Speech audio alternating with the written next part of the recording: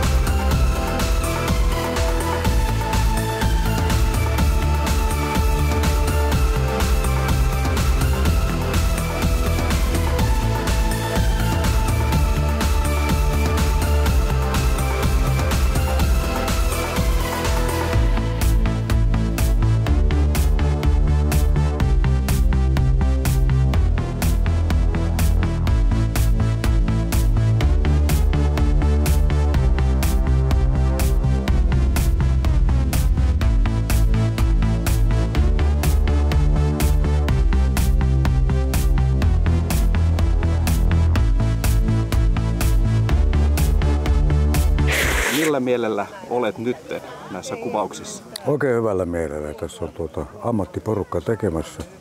Ohjaaja tietää mitä tekee. Ammattimies. Niin Mikahan on pitkän linjan elokuvamies. Mm, sen, mitä, ky- sen kyllä huomaa. Niin, mitä pidät hänen aikaisemmista elokuvistaan sit tyylistä? Mm, totta kai. Totta kai. Molemmat veljekset tekee hyviä leffoja. Kyllä, ja vienyt Suomeen. Kyllä, nimenomaan. No onko tässä jotain erilaista kuin aikaisemmista? Onko tämä niinku sama rooli tietynkin, mutta että ja sama mielentilakin? Joo, joo, ja, mutta eri juttu. Nyt lähdetään hakemaan eskorttia Saksasta ja sehän tässä jännää on. Että miten siellä Saksan pojan kanssa pärjätään. Niin, äh, osa, saatko paljastaa sen enempää juonesta? Että... No siellä sitten tapahtuu kaiken näköistä. Mielensä pahoittaja ei osaa saksaa, mutta velipoika heittää sitten. Niin mä just kysyä, että osaako saksaa vai ei. Ei, kato, velipoika puhuu sitten. Ää, hyvällä mielellä. siis monestakin eri syystä.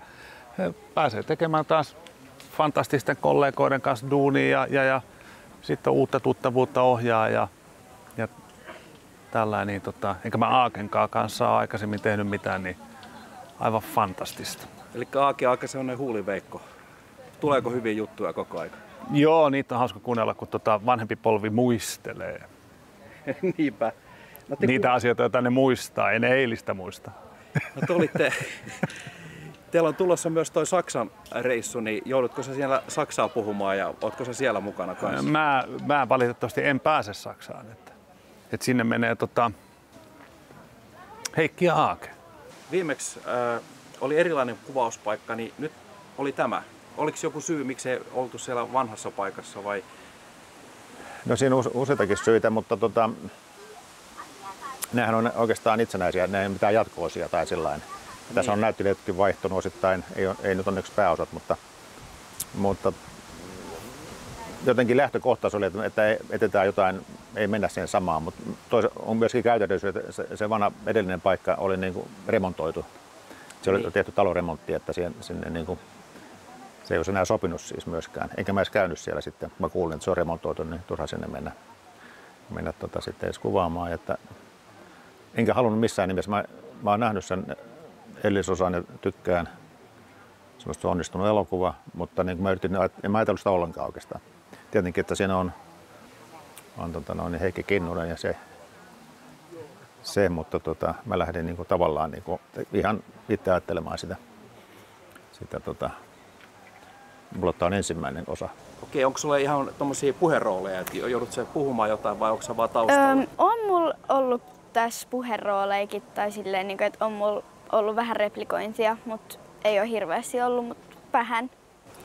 Onko se ennen ollut aikuisten elokuvissa mukana, kun sut tunnetaan mm. näistä lasten elokuvista paremmin? Öö, no mä oon ollut aikuisen sarjoissa, että nyt on tota, yhden sarjan kuvauksia alkaa kohta, mutta sitä ei saa oikein vielä paljastaa, mutta ei voi mitään. Mutta aikuisten sarjoissa on ollut, että tämä on mun eka tämmöinen aikuisten elokuva. No, m- miten nämä aikuiset on ottanut sut vastaan täällä? Tosi hyvin ja on ollut kyllä tosi kivoja näitä, niin kuin, tai saa heti niin tuttuja täältä. Ja silleen kun joistain entisistäkin näkee joitain tai silleen entisistä prokkiksista. Road Movie-tyyppisessä elokuvassa mielensä pahoittaja matkustaa Saksaan etsimään juuri tiettyä Ford Escorttia. Mukana matkalla nähdään mielensä pahoittajan veli Tarmo, jonka rooli näyttelee Aake Kalliala. Kolehmaisen rooli näyttelee Silu Seppälä. Pojan roolissa Hessuna nähdään Iikka Fors ja Liisa Minjana Mari Perankoski. Toisen pojan eli Pekan roolin näyttelee Ville Tiihonen ja Katri Minjan roolin Tiina Lymi. Mä oon öö, mielensä pahoittajan vanhin poika.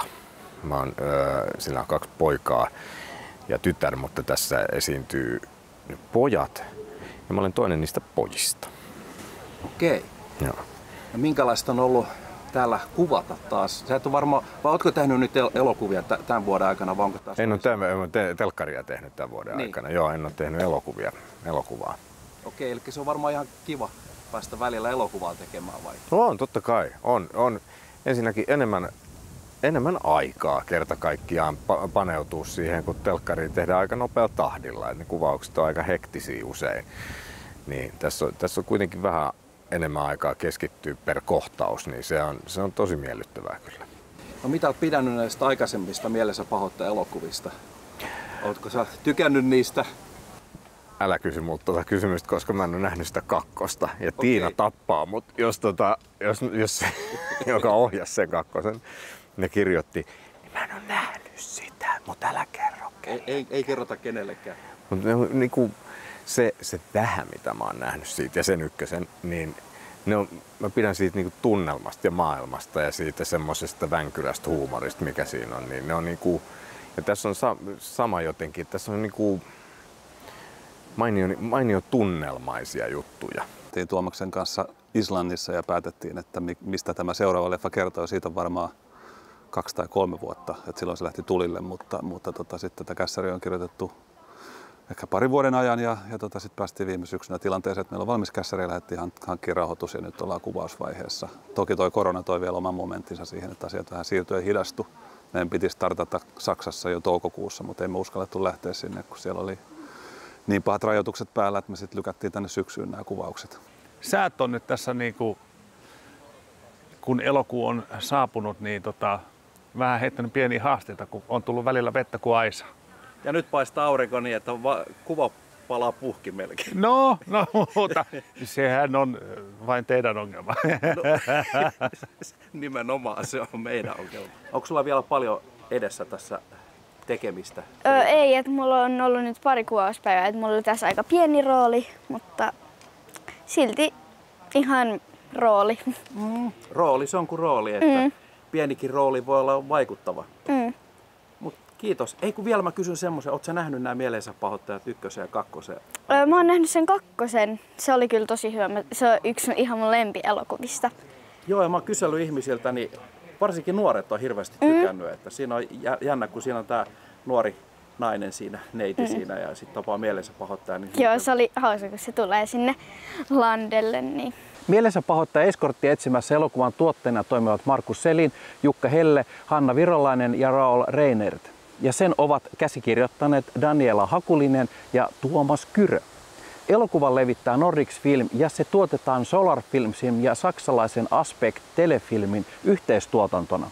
No miten teillä on tämä kuvaukset mennyt? Täällä on tietysti välillä on satanut ja välillä on ollut vähän aurinkoa, mutta, mutta nyt on ainakin hyvä päivä. Niin on nyt on hyvä päivä. Tarkoituksella siirrettiin tänne, että pystytään tekemään tämä ulkoa. Meillä on käynyt aika hyvä tuuri niitä, että välillä on ollut pouta. Niinpä. No, äh, mikä sun mielestä on ollut parasta täällä? Onko se ruoka vai ihmiset vai miljöö vai itse elokuva vai? No eikö elokuvan teko on aina, se on mielenkiintoista hommaa. Varsinkin sitten kun se näkee valmiina. Ai jaa, sitten tuli tommonen. No niin. Ootko kovin kriittinen, kun katsot valkokankaa? Ei, olisi pitänyt vähän eri lailla tehdä, tai, vai onko, että tämä on, tää on niin kuin paremmin, jos voinut mennä? No siinä kyllä sitä totta kai katsoo sillä, että lähinnä niin, että tuleeko sieltä juttu ulos, mitä on, ollaan tekemässä. Se on siinä kaikkein tärkeintä. Niin näytte... Ettei tee liikaa. Joo, se on muuten totta. Mm. Jos mä katson näitä paluu tulevaisuutta elokuvia, niin tämä päänäyttelee siinä mun mielestä näyttelee ihan liikaa. Se on niinku niin. liian teatraalinen, että se ei ole niinku, niin. menee vähän niinku yli, se rupeaa vaikuttaa. Että... Joo, ei se, ei se elokuva elokuvassa tehdään, jos teatterissa tehdään noin, niin elokuvassa tehdään noin. Joo, pienetkin ilmeet ja tällaiset. Niin, näin. kato, jos siinä on kato, tämmöinen lähikuva, niin ei siinä ruveta riehumaan. No ei, ei todellakaan. Niin, siellä, siellä, vaan, siellä on se vaan se silmissä näkyy ajattelu. Mm. Pitäisi näkyä.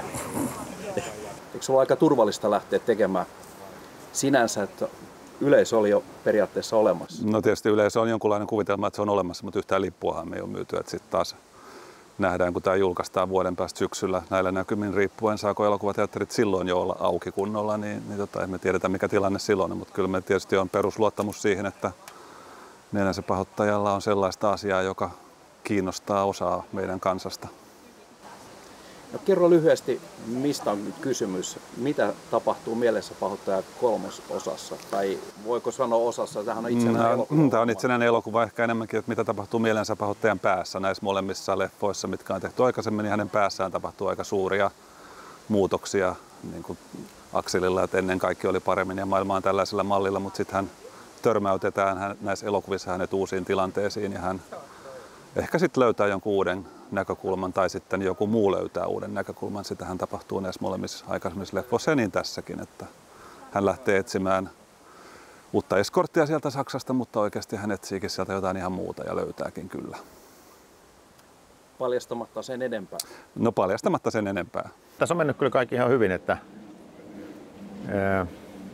No tietysti toi ilmat on, kun oli niin lämmin kesä, sitä jotenkin tuudittautua, että tämäkin elokuukin on samanlainen, mutta tähän ei ollut. Että mä joutuin niin kelien takia pikkusen niin kuin sumplimaan ja äh, luomimaan, mutta kyllä nekin on sitten toistaiseksi saatu, oikeastaan kaikki saatu tehty, että hyvä, hyvä tunnelma on ollut ja hyvin on mennyt. Että tota, meillähän siis, jos Saksassa on, on niin kuin se maini, että siellä kaikki niin kuin on järjestelmällisesti sujuu niin kuin rasvattu, mutta mm ehkä vähän liiankin, että siellä on hyvin, hyvin se on erilainen tapa tehdä elokuvaa.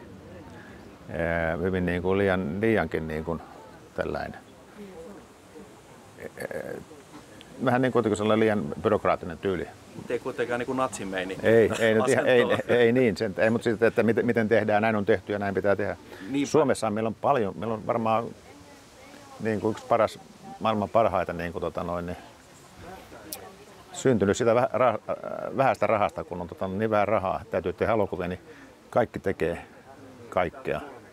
Et siinä ei niinku katsota, et, ja taas jossakin Amerikasta, tai joka Saksassakin, sieltä jokainen tekee vain sitä yhtä juttua. Sen takia niin ryhmät on isoja, kaikki muuttuu hankalammaksi. Että näin hyvää, hyvää niin kuin helppoa, missään on nähnyt niin, ollut niin helppoa tehdä elokuvaa kuin Suomessa. Koska viimeiset pienet ryhmät, mutta ne tota, noin, niin toimivat ryhmät. Pahinta on ollut Hollywoodissa, missä on niin isot ryhmät ja siellä on 120 niin kuin ihmistä ryhmässä ja toivot, että niistä 20 olisi hyviä. Että, se, se, että ne vaan hankaloittaa sitä. Että tota, ja pieni, pieni budjettikin, niin se on suhteellista. Että totta kai rahaa on aina hyvä, mutta ei sillä kaikkea saa. Että Ei. kuvaaja, kuvaaja sanoi tuolla Hollywoodissa, kun mä kysyin, että miksi teillä on 40 valaisia, niin miksi täytyy olla, että just sen takia, että toivon, että neljä niistä olisi hyvää. Meillä on kaikki hyvin. niin, niin meillä on neljä, ne on hyviä. Joo, näin on. Kyllä. Mä en myöskään tuottaja, mä ainoastaan oh, eka kerta, kun mä vaan ohjaan. Mä en ole koskaan ollut näin, että mä- niin kuin, pyydetty vaan ohjaamaan. Mä oon aina ollut omien elokuvani tuottaja. Eli siinä on yksi stressitaso pois. No tää on ihan piknik. Öö, suuri osa, tässä on tuttuja tai ihmisiä, joiden on tehnyt aikaisemmin töitä, paitsi just sitten Heikki ja Aake ja Mika Kaurismäki. Niin se ihan, ihan tota,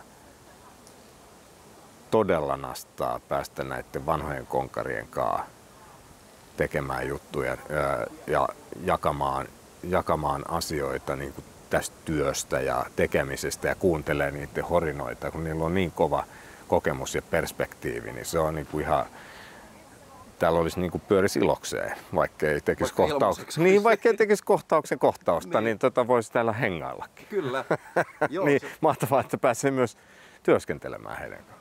No onko sulla lähettää terveisiä Aville näistä rajoituksista? Mulla on lähettää tietysti sellaisia terveisiä, että, että kyllä meillä on ollut niin erikoinen tilanne, että, että jos siellä elokuvateatterissa myytäisiin viinaa ja ruokaa, niin se voisi olla melkein täys, mutta sitten kun siellä laitetaan leffa pyörimään, se, että heitetään jengi ulos ja, ja tota, vaikka ne silloin rauhoittuisi ja istuisi siinä paikoillaan, vaikka maskit päässä, niin tämä on hyvin erikoinen tilanne, että me voi olla tällaisia niin kuin täsmällisesti tiettyihin toimialoihin kohdistuvia rajoituksia näin paljon, että se aiheuttaa eriarvoisuutta ja, ja ihan hankalia taloudellisia tilanteita niin kuin laajalle joukolle. Että jotain tolkkua tuohon pitäisi saada. Elokuvan jatkoa kahdelle aiemmalle jättisuositulle mielensä pahoittaja elokuvalle, joista edellinen Iloisia aikoja mielensä pahoittaja vuonna 2018 sai elokuvateatterissa yli 340 000 katsojaa ja ensimmäinen mielensä pahoittaja vuonna 2014 peräti yli 500 000 katsojaa eli yli puoli miljoonaa. Kiitos tästä kerrasta. Saa nähdä millainen elokuva on tulossa, mutta minusta vaikuttaa oikein hyvältä. Moi moi täältä Nurmijärveltä.